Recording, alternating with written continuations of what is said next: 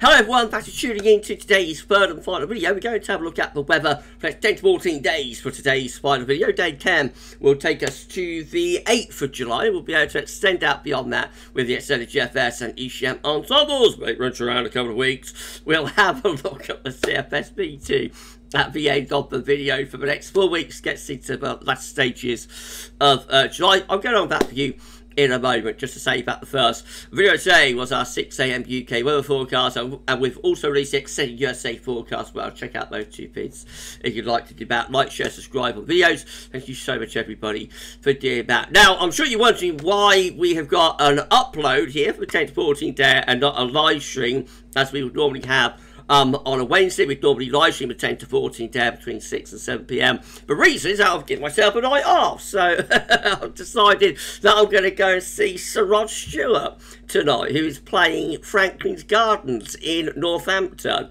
um, the home of the Saints, of course. And um, and so you know, I just pretty spontaneous. I didn't know when I got up this morning that I'll be I'll, I'll be off to see uh, Rod. So um, you know, I just very spontaneous. I heard on the radio, I chatted about it on on the radio this morning, and uh, I thought, well, I'll have a look see whether there's any tickets left. And turned out there were a couple, probably from cancellations. I would have thought. Um, and yeah, so I've got a ticket and uh, and I'm off. I'm, I'm off to see Rod Stewart tonight. So I'm having a night off. That means there won't be a 6 a.m. UK weather forecast tomorrow morning, if that's okay with everybody. So I'm gonna have a I'm gonna have a I'm gonna have a full night off. I'm gonna enjoy myself tonight. I might even have a couple of glasses, you know, if there's any being served. But um no, it's gonna be it's gonna be a nice night. Mrs. P loved Rod Stewart. She saw him a lot in the uh, 80s and 90s, and she always said he was one of the best live acts, you know. But she saw, so I suppose he'll be slowed down a lot from then. But um, but yeah, you know, I, I think he'll still be putting on a good show, hopefully. I bet he can still rock. I bet Rod can still rock. So that's what I'm going to be doing tonight, and that means there's no live stream, which also means that uh, we're going to uh, do the uh, 10 to 14 there as a video. And it also means I can't give a shout out to lovely Mark on a live stream tonight, so I'm going to do it now. It's uh, Mark Kanish's birthday, so happy birthday, my friend. Hope you're having a lovely, lovely birthday. And uh, I'm so sorry that I can't, you know, shout you out in the live stream um, tonight, but I'm shouting you out now. And on Sunday's live stream, next live stream will be at 6 p.m. on Sunday. Sunday live streams are returning. Um, we're moving the Monday live stream back to Sunday, so so uh, next live is Sunday at 6 p.m. And um, and I'll shout you out on that as well, Mark. But I'm doing your birthday shout out on your day with this video. So I hope you're having a lovely, lovely birthday, my friends. Everybody in the comments can wish uh, Mark a happy birthday. That'd be absolutely fantastic. You have a great day, my friend. Okay, let's get on with your 10 to 14 day event and uh, then I had to get myself ready, won't I, for my night uh, for my night out.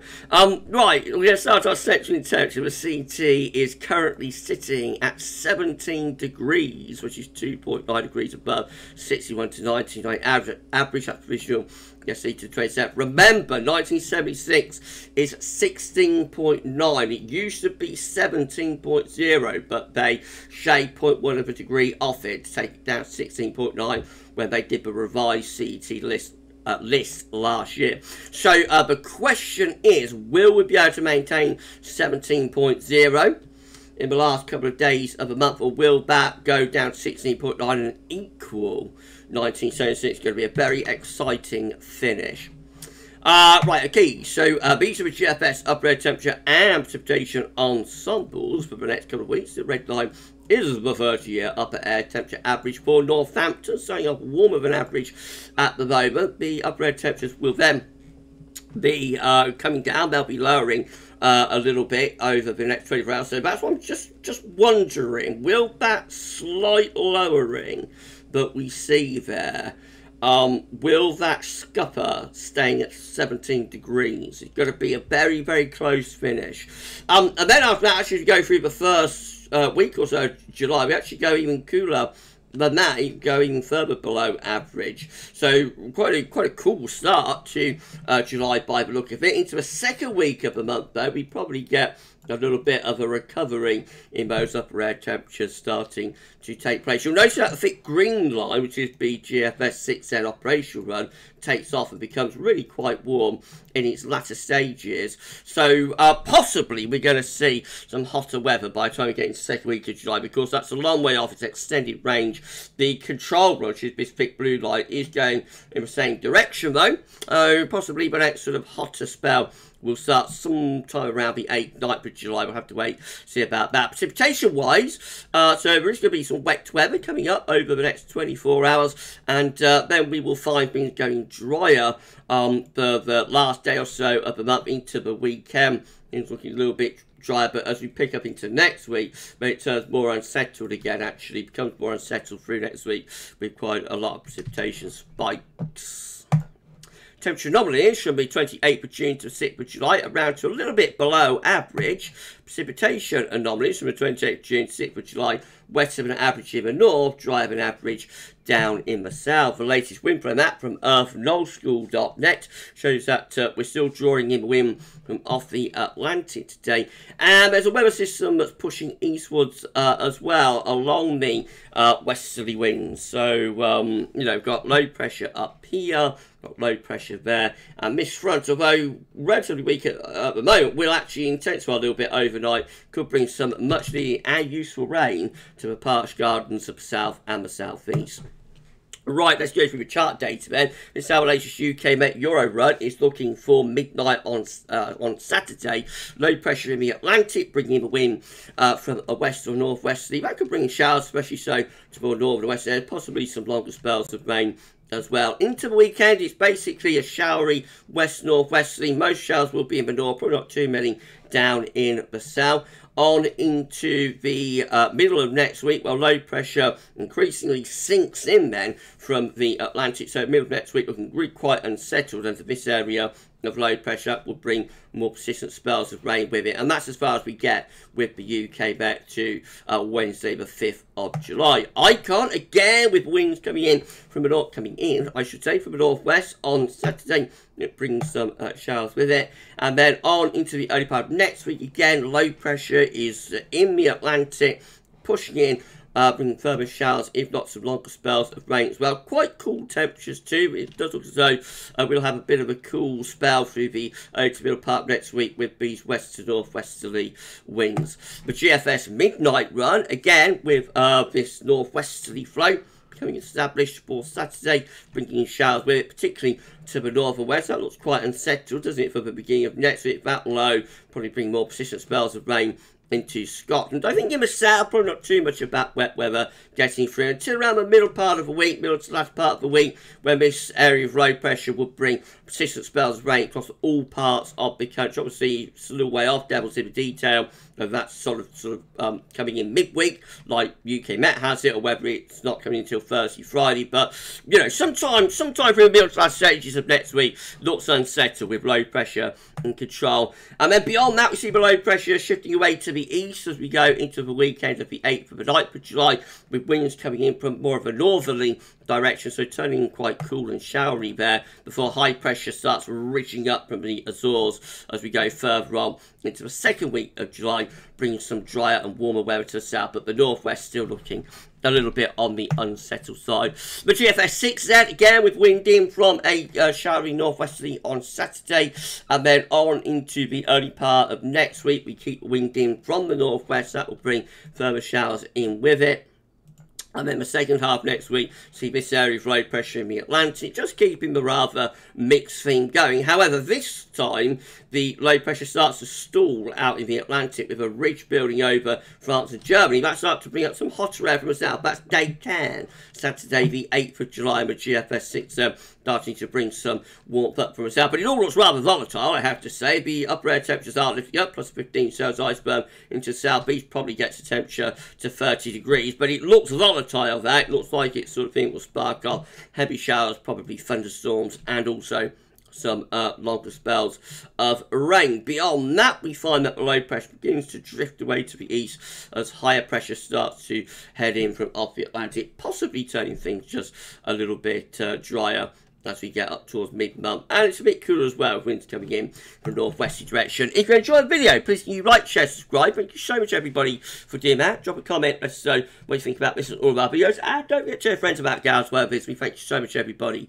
uh, for doing that. Okay, GEM, again with those showery northwesterly winds on Saturday. And then on into uh, Sunday and Monday. Again, low pressure is away to the east, probably in the wind from a cool and showering northwesterly direction. And we keep things pretty unsettled with the GEM all the way up to day 10, although by day 10 itself, so the 8th of July, just a hint that the high pressure begins to start getting going over France again, possibly starting to allow something a bit warmer or hotter come up from the south. And then the ECM looks like this with low pressure in off the Atlantic bringing showery northwesterly winds through the weekend and into the beginning of next week as well, looking quite unsettled with the ECM. Just by day 10, a little bit of a hint of height starting to rise from the south, maybe taking a little bit drier and warmer across the south by day 10, 8th of July. This is a precipitation forecast based on the ECM run from Tameteo.com. So here's the wet weather we could have tonight and tomorrow morning in the southeast corner. This looks very useful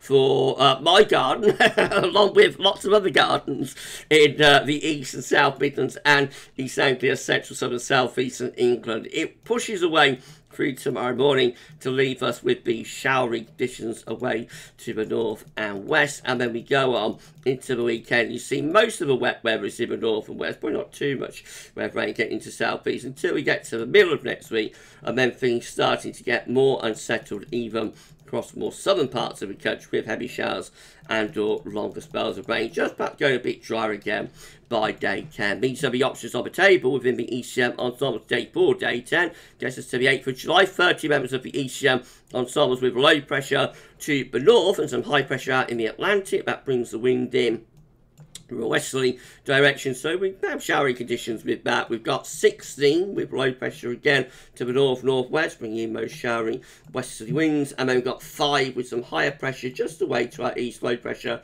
out to west. That's the warmest option. We'll be bringing up winds from more of a southerly direction. Of course, this low might be the trigger for some thunder in two weeks' time. These are the options that we've got. Gets us to the 13th of July. 22 members of the ECM ensembles with low pressure over to the east of the country. High pressure in the Atlantic. Winds coming in from a northwesterly direction. We've got 20 with high pressure towards Greenland and over France. Probably some sort of lower pressure uh, through the North Atlantic. And then nine with high pressure close to the country and into the North Atlantic as well. So that's the most settled option. Um, none of those options are especially warm, I don't think. But of course, the high pressure here, this would be the warmest probably. Um, given the time of year and the strength of the sunshine. We may be seeing a trend here towards higher pressure into the second week of July, but it looks a little bit flimsy at the moment, as you expect, given that we're talking about 10 days or more away. Um, CFSV2 finally, these are 500 millibar height and odds breaking down into week periods. The first week period takes us from the 28th of June to the 4th of July. Becoming week has low pressure to the north, high pressure is out in the Atlantic winter coming in from a northwesterly direction. So also a little bit cool and showery in the week ahead. Week 2 also looking a little bit cool and showery. It's fit to be 11th of July with some lower pressure coming in the Atlantic and away to our northeast where high pressure is blocking around uh, Greenland. And then week 3, 3 he sees a bit of changes as well to the 18th of July. Some higher pressure beginning to get going just to our east might start allowing some sort of a southeasterly flow to establish. That could bring hotter air in there through the middle part of July. That perhaps maintaining to week 4, 19th to 25th of July. Again, high pressure is away to our south and east. Uh, probably some sort of lower pressure through here and uh, so we could be bringing in, bringing in the wind from like a southerly, southwesterly direction um, and it might be a little bit on the volatile side as well. We would have to wait and see until closer to the time frame. So maybe this July, coming July, is going to pan out similar to June. Remember, June did have a colder than average, cooler than average CT for the first week. So up to the end of the first week, it was actually running around a degree below average.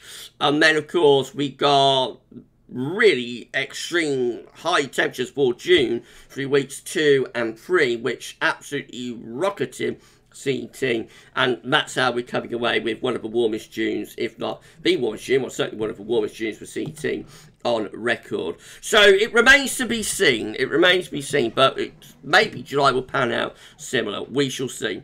Okay, uh, we're done. Thank you so much, everybody, for tuning in. If you have enjoyed this video, please like, share, subscribe, all of that good stuff. Thank you so much, everybody, for doing that. We've put on around 18, 17 or 18 subscribers to get ourselves to um, 16.4k. So you could give us a sub, that would be amazing. Thank you so much, everybody. I'll just tell you what's coming up tomorrow. So as I say, I'm going to have a night off. I want to see uh, Rod in Northampton, Sir Rod. So um, that means that uh, I'm not going to be doing a 6am forecast when I get home. So instead of that, we will have no 6am forecast tomorrow. And uh, the content will pick up a little bit later on in the morning with the uh, European Outlook. And that'll be followed by the uh, 10 to 14 day as well.